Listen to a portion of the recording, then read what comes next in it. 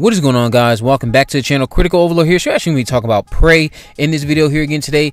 The upcoming Predator 5 movie that's coming to Hulu later this summer in August. So the actual trailer, a, a longer full length look at the movie was was leaked earlier today and disney of course has been taking it down left and right i'm not going to show anything from it here because again it was leaked it hasn't officially been released just yet but i just wanted to come out here and talk about my thoughts on that as well as talking about the direction this movie is taking and other things I know people have been sharing some thoughts on in regards to their fears for the movie.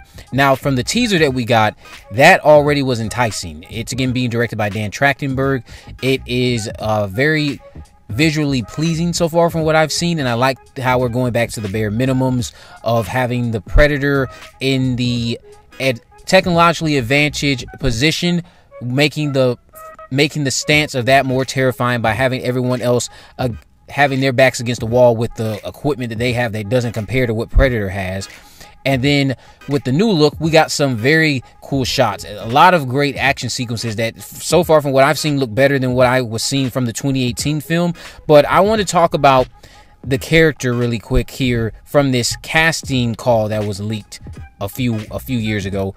It says here that the story will follow Key, who we know now as Naru, a Comanche woman who gives who or who goes against gender norms and traditions to become a warrior. So it also goes on to say Key is very close to her younger brother, Taib, who is being groomed as a leader.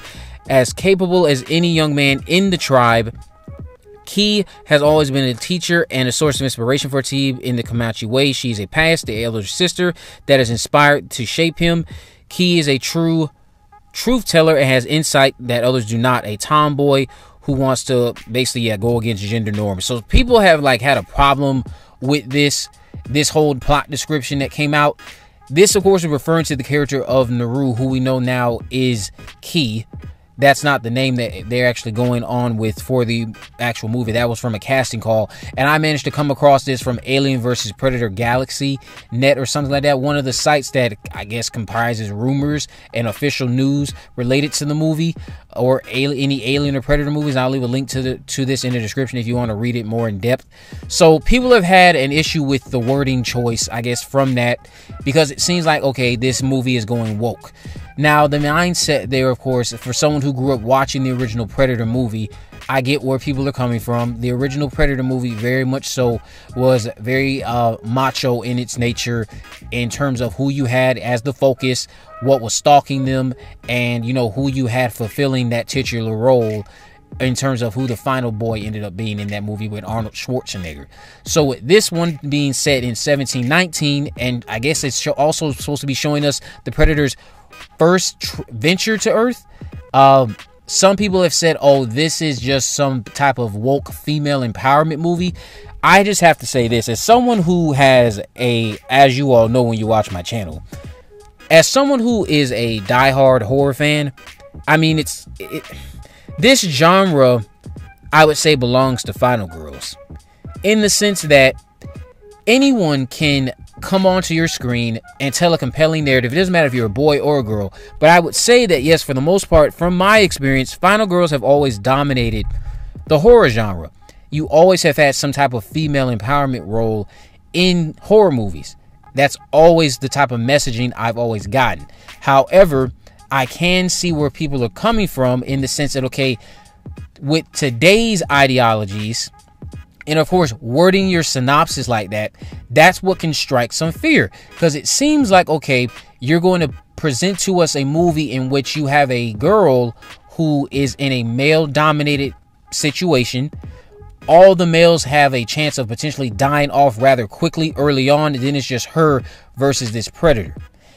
Now, from what I have seen from Prey, because again, the sequences could, of course, be out of order, I don't think they're doing that. I do not think that all of these men are going to be killed off rather quickly, and then you're going to just tell a story from a from the perspective of this girl who you probably aren't going to be able to sell a lot of people on in terms of her being able to survive if all the men were, were killed. It's the same thing, I guess, as if you were to do this.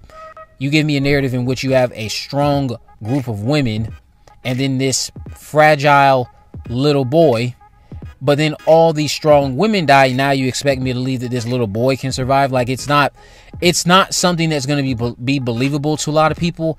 Me, on the other hand, I'm willing to go just suspend my disbelief for that only because of the fact it again doesn't look like they're doing that. The trailer that we have gotten so far and the footage that we've gotten seems like they aren't going to be very forceful as how these synopses are appearing to be forceful with how they're describing her you know mentioning that she's trying to go against gender norms. You know they're they're not concerned with stuff like that in this time period. The most important thing for these people at this time i would imagine would be your survival and just making it out of the next day alive and doing what is best to survive not not necessarily coming from a place of wanting to oppress women or anything like that but even still the other thing i hope is that while you can still tell a very compelling and empowering female narrative i would love for the predator to come out on top in the end still i know that the final girl usually is supposed to have the last hurrah I just want to see a Predator movie where Predator wins, though.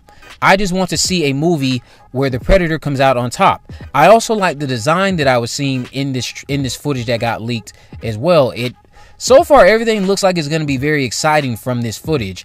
Um, I do like what I was seeing from the silhouette of the of the predator and I like how we had it cloaked at one point chasing after Naru and what I can only assume was her brother after it was looking like it was going to kill her brother in this footage you do get to see that of course the brother makes it out of that that situation where it had its dots honed in on the brother it's gonna be it's gonna not be a situation where he dies there they're gonna escape but then you get like this cool cool shot overhead of the predator cloaked chasing them through the field. I like that. And I really love the the silhouette shot of the predator. There's a lot of cool quick shots of it. They're not showing too much. There it shows just enough to get you excited. And I do like the narrative that they're going for when it relates to her going against what is accustomed to her tribe. She wants to defend the tribe. They don't think she is ready or that she can. They're telling her that she can't, and I guess she's going to prove that she can. It depends on how you depict it on screen. If it's very forceful, that's one thing, but it, is, it doesn't seem like they're going to do that. Let me know what you guys think about this down in the comment section below. If you haven't already, of course, make sure you subscribe. Turn on post notifications, never miss a video. In the description, I have links to my social media accounts, my Facebook, Twitter, and Instagram. You can message me there, of course. Let me know any movies, news, or reviews you'd like me to cover in the future. And with all that in mind, guys, I will see you in the next video.